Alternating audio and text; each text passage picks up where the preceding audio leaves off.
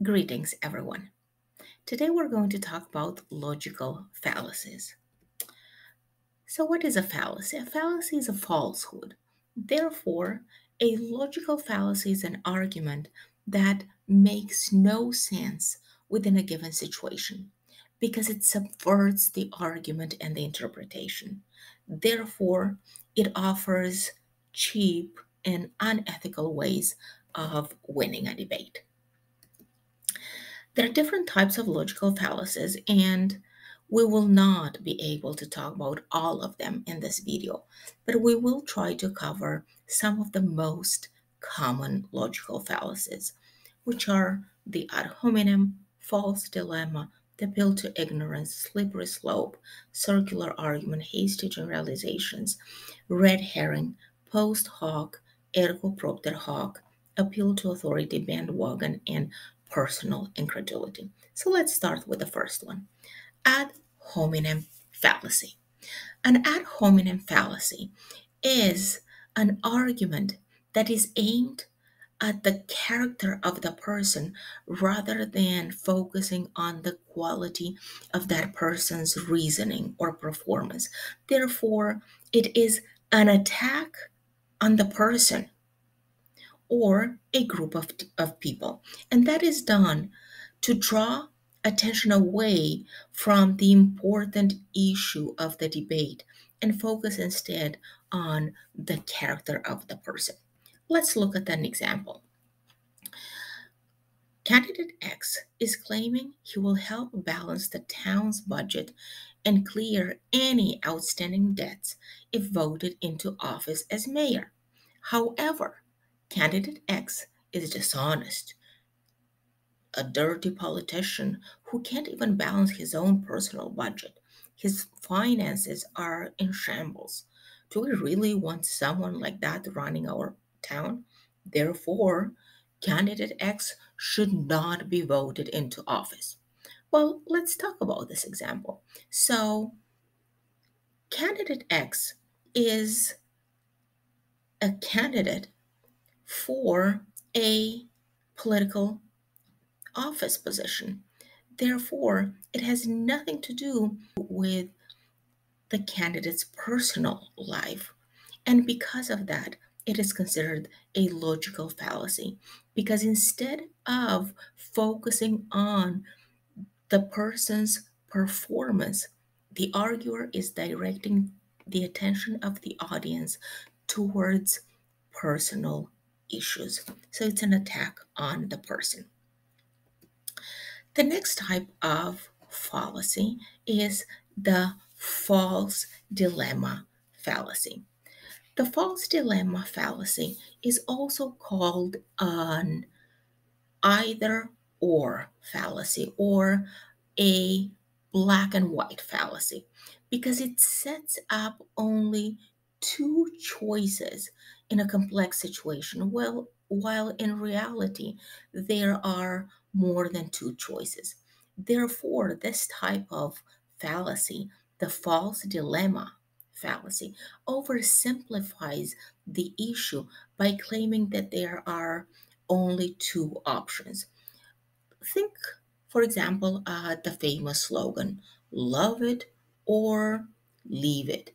In this case, we're giving only two options, while in reality, probably the person could even try to stay and work with the challenges. So that's an example of a false dilemma fallacy. Let's look at another one. Since there is nothing good on television tonight, I will just have to go to bed. Well, yes, it's one thing if you want to go to bed, and it's something else that you're going to bed only because there is nothing on TV. Because if you want to do something else, you could read a book, or you could spend some time with a family, or visit a friend, or a family member, and so on.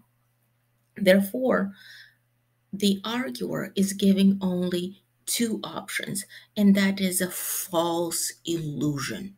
That therefore we call it a false dilemma, black and white, or either or fallacy. The next type of fallacy is the appeal to ignorance fallacy. And in this case, the person believes that his or her conclusion is true only because he or she has not been presented with evidence that shows it different. So let's look at this example.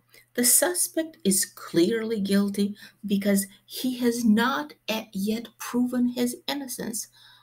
Okay, but have we tried to look at the evidence that the suspect is presenting? So, therefore, that is considered an appeal to ignorance, and that's a fallacy.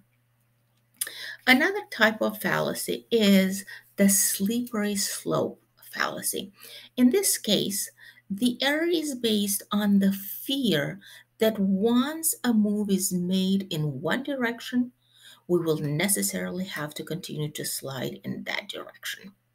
So, while one action may in fact lead to some actions, similar actions, the slippery slope fallacy appeals to the fear by claiming that a certain moderate action will lead to more extreme actions. Okay, so let's look at an example. Increasing gun regulations is the first step toward the government completely disarming American citizens. Okay, the fact that we are increasing gun regulations does not necessarily mean that we're taking away the guns from the citizens. Therefore, this is an exaggeration and this is called a slippery slope because one action is not going to necessarily influence another action or another result. Let's look at another type of fallacy circular argument fallacy. In this type of cases, the circular argument relies on the issue that some premises lead to a conclusion. Therefore, the conclusion leads back to the premise. In this case, the arguer just goes in circles around and around and around and doesn't really make a clear point. Let's look at this example. You say that your friend Jesse lies all the time, and you know this because they never tell the truth. But your argument that Jesse lies all the time and your premise because they never tell the truth are the same thing. Therefore, this is a circular argument and it's a logical fallacy.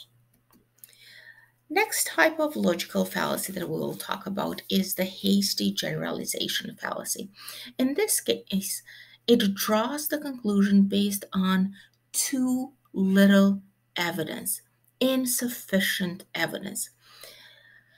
This intellectual habit often surfaces in arguments about gender, race, age, sexual orientation, and even vocation. So let's look at an example. Since I moved into this neighborhood, I've seen three police cars in six months. There must be more crime in this area than I had originally thought. Well, the fact that you've seen three police cars in six months in that neighborhood, this does not necessarily mean that that's a dangerous neighborhood. Probably there are police officers living in your neighborhood or po- probably there was an activity where that they have attended.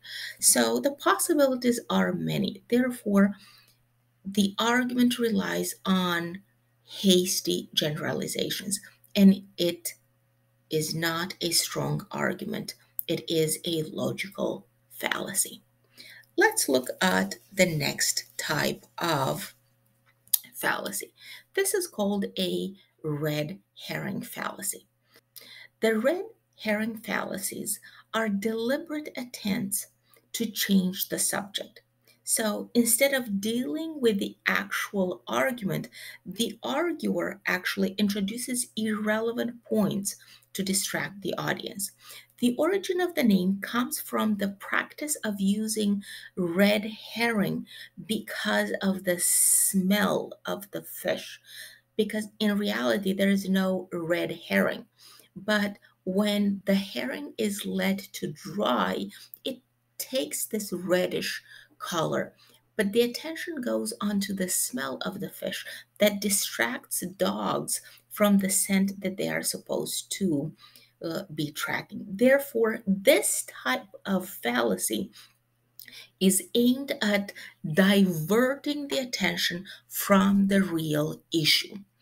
This type of fallacy is commonly used in politics, unfortunately. Let's look at this example. So we have a debate between the moderator and Senator A. Senator A, can you explain why you voted for higher taxes on the middle class? And Senator A replies, That never happened, but I do propose an increase in funding for social programs aimed at helping low income families. Let me explain. So, what happens here? The moderator is asking a question about why the senator has voted for raising taxes for the middle class. And the senator, instead of answering the question about the high taxes on middle class, he switches, he diverts the attention, he distracts and leads his audience onto a different issue, which is funding for social programs, which could be an issue, but it, in this case, the senator is not answering the question. Therefore, that is considered a red herring. Another type of fallacy is the post hoc ergo propter hoc fallacy.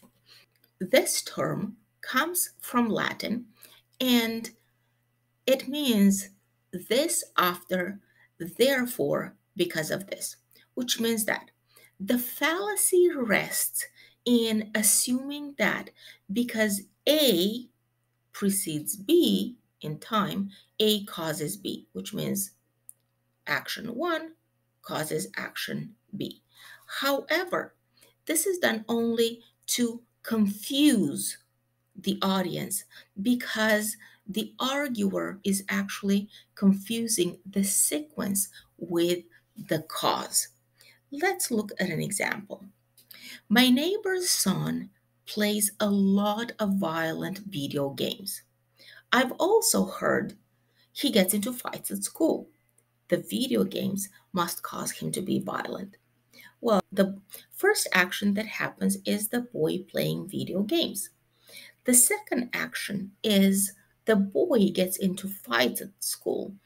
However, the fact that the boy watches video games or plays video games does not necessarily mean that this is the cause for him getting into fights. He may be getting into fights because of many other reasons and not necessarily because of the violence that he sees in the video games. Another type of fallacy is the appeal to authority fallacy. In this case, it is assumed that an expert in one field is credible in any other field. However, let's look at this example. Trust me, I'm a doctor. Well, yes, a doctor is an expert in his or her field. However, even within the discipline of medicine, there are different types of specialties. Therefore, if somebody needs to have heart surgery, that person is not going to go to a dentist, but it is going to go to a cardiologist, right? So let's not confuse that appeal to authority does not always mean that that is a fallacy. We actually want to rely on appealing to authority. The only thing that we need to make sure is that the authority that we are using is indeed an expert in the area, or use several other experts in the area to back up your claim. Using an expert from a different field would make it become a logical fallacy. Another type of fallacy is the bandwagon fallacy. So, what is the bandwagon fallacy? Bandwagon arguments appeal to the emotions of a crowd, like in everyone is doing it, therefore you have to do it. So they invite people to accept something just because that is popular. We also refer to it as the herd mentality. So let's look at this example. Your young teenager comes to you and wants to get a tattoo.